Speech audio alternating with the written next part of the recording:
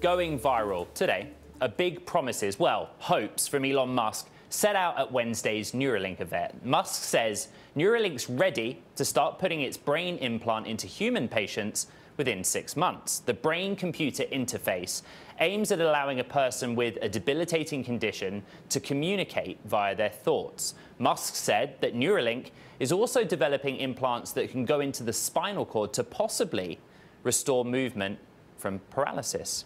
Bloomberg's Sarah McBride covered the event for us.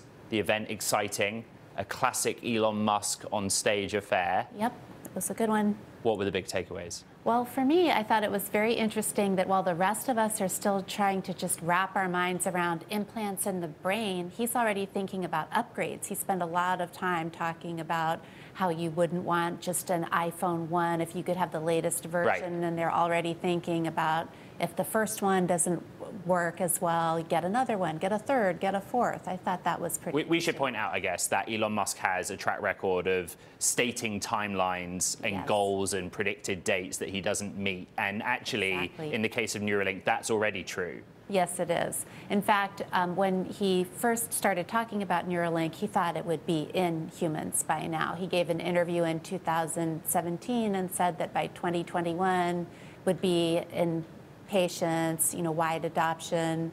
And so that deadline has obviously slipped. And each year almost, he gives another deadline that slips, which is probably motivating to his staff. There was a demonstration um, of a monkey, essentially, that was. Uh, the recipient of a Neuralink implant, and right. they sort of demonstrated the use of thought to translate that thought into a digital signal. And uh, it's astounding what they can do the technology seems to be there. The biggest block to it being real appears to be the FDA.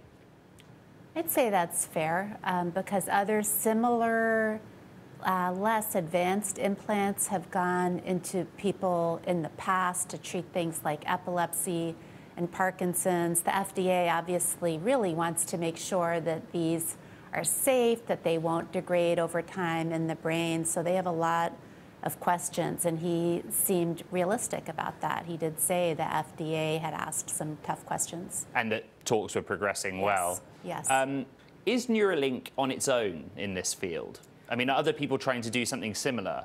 Right. Actually, there are a lot of companies that are working on different variations of this technology, including many founders from Neuralink who've gone on to start their I think they've companies. left the company and exactly. they... Exactly. There was a big founding team since the company's several years old, many of those people have moved on. They've started different companies.